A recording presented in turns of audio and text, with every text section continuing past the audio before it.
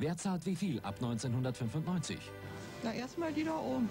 Fehlt der Bundesregierung ein finanzpolitisches Konzept? Man sollte auch in dem Zusammenhang mehr auf die Rechnungshöfe hören. Und äh, man sollte auch Politiker zur Verantwortung ziehen können. Verstehen Sie eigentlich das Steuersystem? Blickt man da noch durch? Nee, nee, überhaupt nicht. Chaos ohne Ende?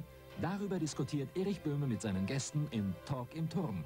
Heute 22.15 Uhr in Sat 1.